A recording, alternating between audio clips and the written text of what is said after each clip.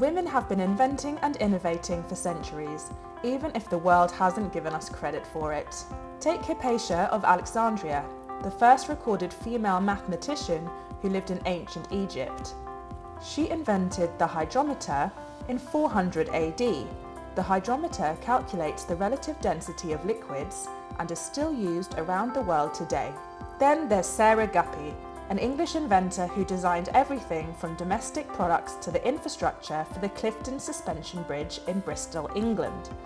Sarah gave her designs to the engineer Isambard Kingdom Brunel, who also designed London's famous Paddington Station, to take the credit, because she just wanted to see her inventions used for the public good.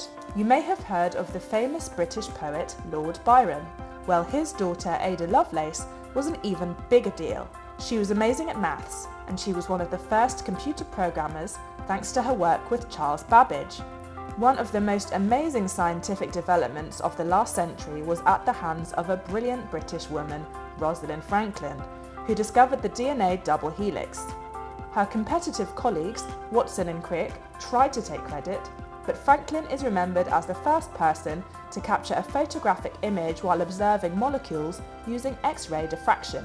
You can't say that women aren't resourceful. English inventor Mandy Haberman created the Haberman feeder, a bottle designed for babies with trouble sucking, and is now used in hospitals around the world. These women are truly inspiring, and we need more female inventors. So if you have an idea, be like these women and bring it to life.